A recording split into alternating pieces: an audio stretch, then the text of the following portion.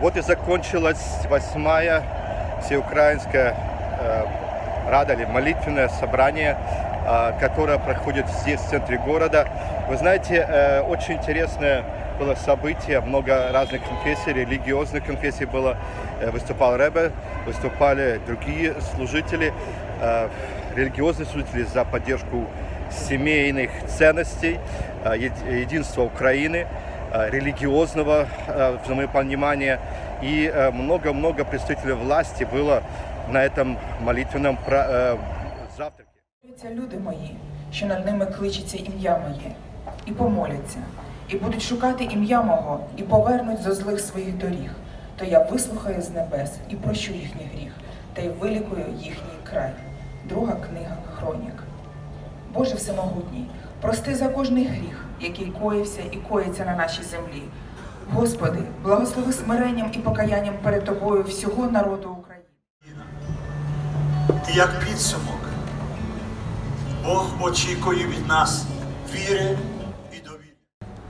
Молюся за рідних і близьких своїх братів, з якими разом ішов у бій. Хабраєв, Тома, Михайло.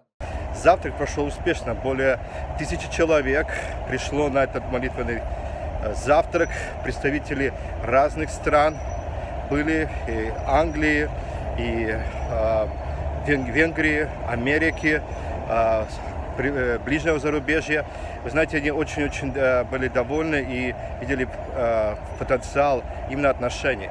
Многие политики, наши представители власти молились за Украину по разным э, территориям и э, аспектам. Но знаете, что для меня ста- стало очень э, интересным?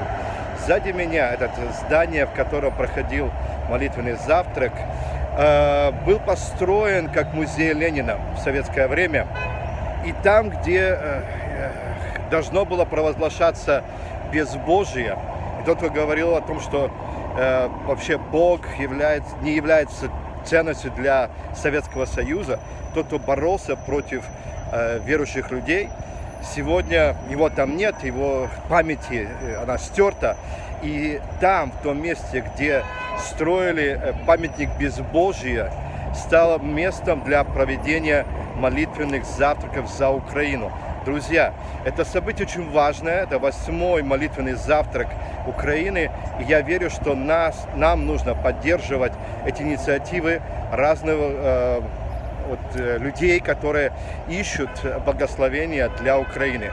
Поэтому это очень было важно, очень было э, ценно. И там даже объявили о том, что э, уже есть более 100 петиций от народных избранников Украины о том, что перенести наше посольство из, из Тель-Авива в Иерусалим.